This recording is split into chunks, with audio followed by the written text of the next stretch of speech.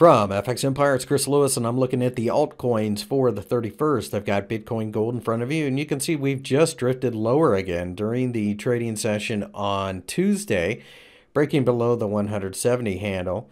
We've been here before, but uh, the lack of volume, I think, speaks volumes.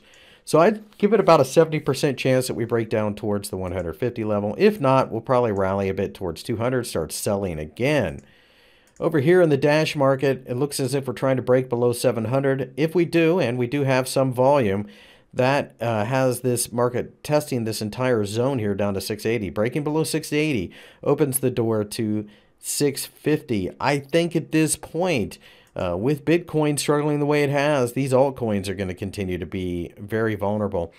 Monero is below $300 again. If we break below 280, it opens the door to 250. Rallies at this point are to be sold. It gives an opportunity to short or for traders who have gotten into this market in a very bad price to get out of bad positions.